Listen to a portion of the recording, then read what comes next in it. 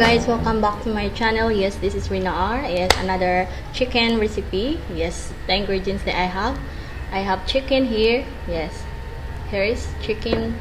I have laurel leaves, a pepper, Knorr cubes, garlic, soy sauce, vinegar, and water. Okay, let's start.